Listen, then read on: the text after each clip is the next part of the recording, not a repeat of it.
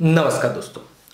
દોસ્તો શું ક્યારે કોઈએ વિચાર્યું હતું કે ગુજરાતના મુખ્યમંત્રી વિજય રૂપાણી બનશે?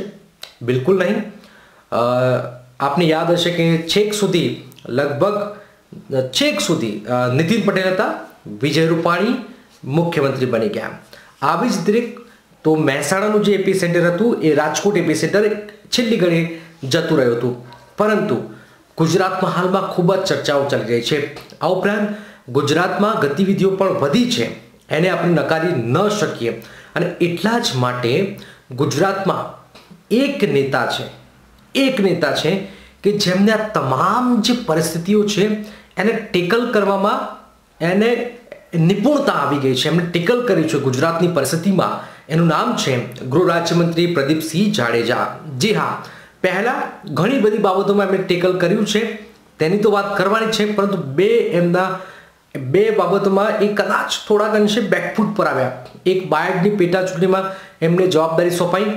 એમાં તેઓ બેકફૂટ પર આવ્યા અને એમાં એમની થોડાક મતે હાર થઈ. નંબર ટુ અમરાઈવાડીમાં પણ જે થઈ, હાલાકી સીટ જીતી ગયા. પરંતુ જે વોટિંગ થવું જોઈતું હતું એ ન થયું. તો આ બે પોઈન્ટને બાદ કરતા હવે જે મેન પ્લસ પોઈન્ટ છે એની વાત કરી લઈએ, તો પ્લસ પોઈન્ટ એ રહ્યા છે ગુજરાતમાં બિન સચિવાલયનું જે આંદોલન થયું. આંદોલન. પહેલાં પરીક્ષા, પછી પેપર ફૂટવાની ઘટના, ત્યારબાદ આંદોલનની ઘટના અને એને ટેકલ કરવામાં. એને ટેકલ કરવામાં ગૃહ રાજ્યમંત્રી પ્રદીપસિંહ જાડેજા નંબર વન સાબિત થયા છે. તમામ બાબતોમાં નંબર વન સાબિત થયા છે. આ ઉપરાંત ગુજરાતમાં પણ જે ઘટનાઓ બની છે દુષ્કર્મની, એમાં પણ આરોપીને તાત્કાલિક પકડવામાં પણ તેમને સતત પોલીસ કર્મચારીઓને સતત મેસેજ આપતા રહે છે, સતત ગાઈડન્સ આપતા રહે છે, પોતે પણ લેતા રહે છે. તો આ તમામ પરિસ્થિતિની વચ્ચે પ્રદીપસિંહ જાડેજા એક એક ઉમદા નેતા તરીકે, એક શાંત નેતા તરીકે ઉપર ઉભરી રહ્યા છે બીજા નેતાઓની કમ્પેરિઝનમાં આવી પરિસ્થિતિની વચ્ચે મીડિયા સાથેની વાતચીતમાં પણ પ્રદીપસિંહ સતત આવી રહ્યા છે. પ્રદીપસિંહ સતત સતત આવી રહ્યા છે એક પછી એક બાબતોમાં સામે આવી રહ્યા છે. નંબર ટુ આપણે તાજેતરમાં બે એક બે દિવસ પહેલાં જ અમદાવાદ જેવા મોટા શહેરમાં મ્યુનિસિપલ કમિશનર લઈને, વિજય નહેરાને લઈને ભાજપ અને કોંગ્રેસના જે કોર્પોરેટર છે, એમને પણ વિવાદ કર્યો.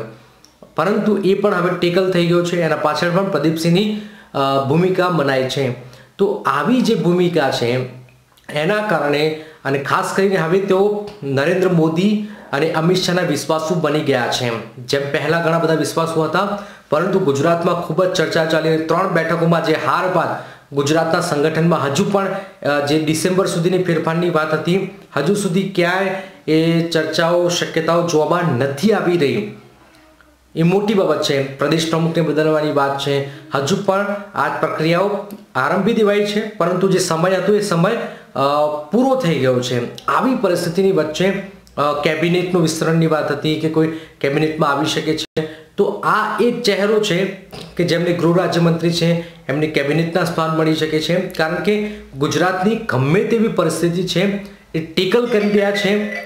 એ ટેકલ કરવામાં પ્રદીપસિંહની મોટી ભૂમિકા છે. અને એટલા જ માટે ગુજરાતમાં એક સાયલેન્ટલી હું વારંવાર કહેતો છું કે ગાંધીજીનું જે પેલું વાક્ય છે ને કે મૌન સૌના માટે વાલું છે અને જે કામમાં ડૂબેલો હોય તેના માટે મૌન સોના જેવું છે. તો મૌન રહી ઘણું બધું કામ એમનું સોના જેવું થઈ રહ્યું છે અને દિલ્હી દરબારમાં એમના કામની પ્રશંસા પણ થઈ રહી છે.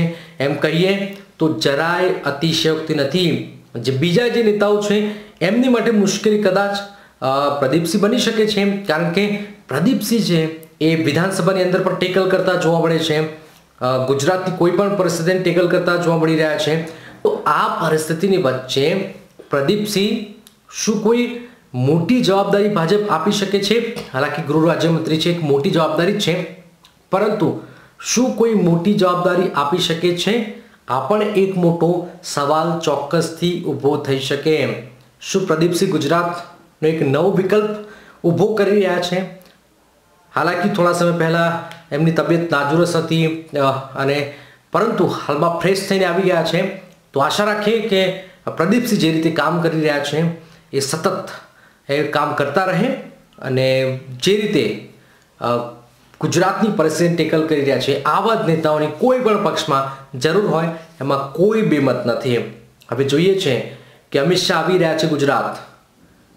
શું ગુજરાતમાં બોર્ડ નિગમ, કેબિનેટનું વિસ્તરણ અથવા મંત્રીમંડળનું વિસ્તરણ થઈ શકે છે? આ એક મોટો સવાલ છે. જોઈએ છે હવે શું થઈ શકે છે? નવા પ્રમુખ પણ બદલાવાના છે. શું જીતુ વાઘાણી પણ રહેશે કે અથવા કોઈ બીજો કોઈ ચહેરો આવશે? જીતુ વાઘાણીને કેવી રીતમાં લે છે તો? ઘણું બધું છે. આવી પરિસ્થિતિની વચ્ચે આપનું શું કહેવું છે?